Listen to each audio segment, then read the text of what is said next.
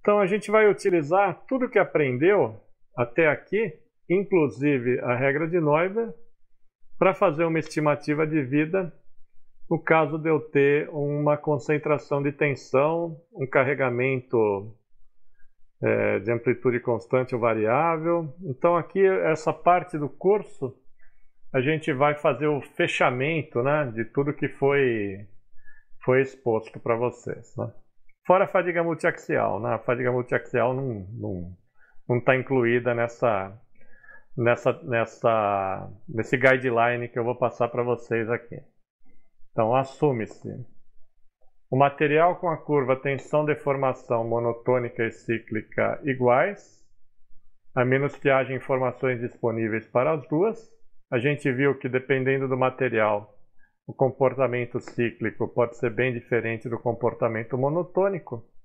Mas é, para poder viabilizar né, uma estimativa de vida, né, se eu só tiver informações de carregamento monotônico, é com ele que eu vou trabalhar.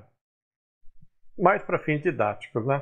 Se eu tiver que fazer realmente uma abordagem para um problema de fadiga de um avião, por exemplo, é melhor que eu tenha todas as propriedades sempre, né?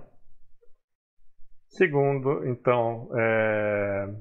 esse aqui diz mais respeito ao carregamento, né? Sem endurecimento ou amolecimento de tensões decorrentes da carga cíclica. Ah, é parecido com a questão da monotônica e cíclica serem é... a mesma, né? E o modelo reológico, que é o, a questão do efeito de memória, toda essa informação que é, eu expliquei para vocês, né? De uma maneira bem simplificada, né? Mas acho que deu para vocês lembrarem que no descarregamento eu tenho é, metade dos segmentos com o dobro do comprimento. Seria basicamente aquilo que a gente viu há, há pouco aí. Então, primeiro, numa situação de carregamento de amplitude constante,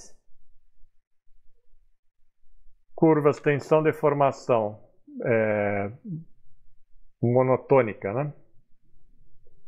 Para o primeiro carregamento, epsilon é igual a f de sigma, epsilon a, amplitude de deformação, é igual a f de sigma a. Para descarregamento e carregamento cíclico, delta epsilon sobre 2 é igual a f de delta sigma sobre 2.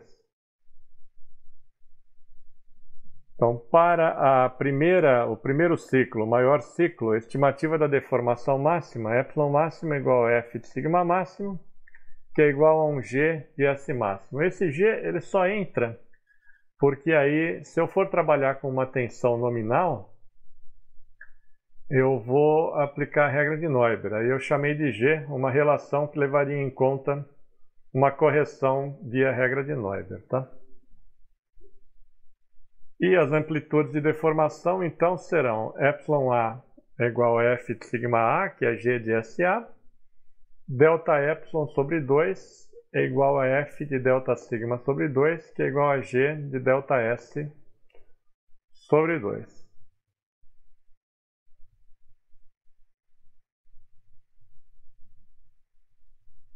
tensão média na minha descontinuidade, aí, no meu local de interesse do meu problema, é dada pela tensão máxima menos a amplitude de tensão.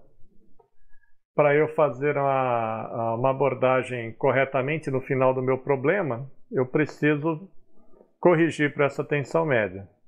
E para isso eu vou utilizar a equação de Morrow ou a equação SWT, da onde eu parto de uma tensão média e uma amplitude de deformação é, arbitrária para uma amplitude de deformação reversa. Né? Então vamos ver um exemplo aqui. O componente contém no concentrador de tensão com um KT, então, né? expresso através de um KT. Se o carregamento tiver um nível de tensão nominal média diferente de zero, a regra de Neuber pode ser, pode ser aplicada duas vezes.